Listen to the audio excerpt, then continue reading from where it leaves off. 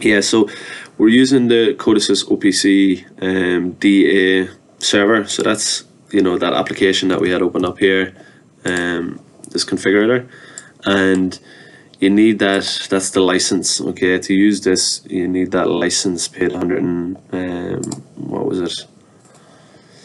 160 euro for it. Now, as I said, I went for the the demo, but unless you're using an older version of Codesys, um, you're not going to get it for free as far as I can see. But again, if anyone figures out anything, do let me know.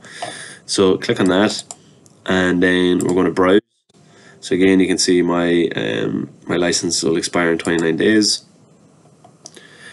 This can get a little bit messy. You can kind of have to click retry nearly a couple of times, and you eventually get in. But what you'll see is you actually get into see the My PLC, and there's the application for it. There's the program and then there's your two bits and your bytes. So um, I'm clicked on the inputs there. So um or sorry there there's my outputs that's connected. So I'm looking for the output byte. Click OK. Click OK. Again takes a wee minute just for it all to kind of sync through. Sometimes you get a couple of errors as well popping up but just try and kind of bully your way through. Do the exact same thing here again. OPC um, DA, browse first, again it'll give you warnings um, but it'll eventually kick through and and let you in. It'll find my PLC, so you got that's why we got to have everything named correctly. Get the application, there's your inputs, your input byte, click OK, and then these will will start to filter through.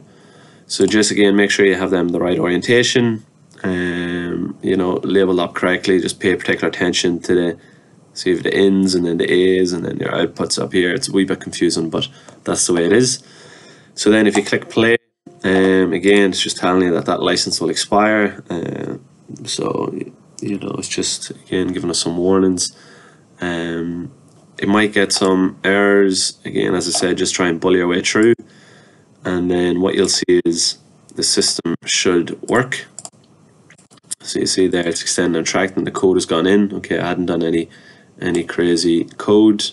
But if you want to just see that side by side, if I move this across, you'll see as I trigger trigger the inputs, trigger the out, uh, trigger the inputs, you can see it coming across on the other software there as well. So really cool when it actually does does work, but um, seems to be a bit of a paid feature now that um, you're using updated software and I think that's really the main problem.